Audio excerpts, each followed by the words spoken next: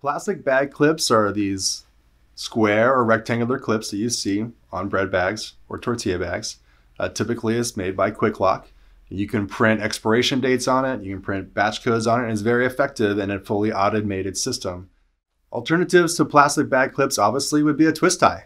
A twist tie is going to be reusable and give you the same kind of performance with a little bit better enclosure of, of keeping the air out of the actual bag itself.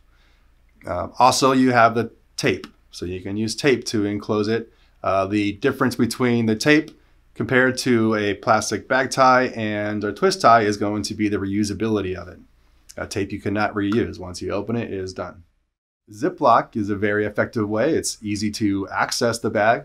It actually closes up really well, and it's very easy to actually manufacture for automation. Uh, we were approached by Kettleman's Bagels out of Canada to do a uh, to use our twist tie material on their um, on their production runs. They had to use something that was going to be metal free due to it running through the the uh, metal detection system.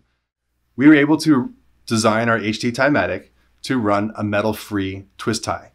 This allowed us to have the product still be used as reusable twist tie material and have it run through the metal detection, uh, therefore allowing our customer to be able to still give the satisfaction of a twist tie to their end user, who the end users tend to appreciate a twist tie's reusability and effectiveness in comparison to some of the other alternatives.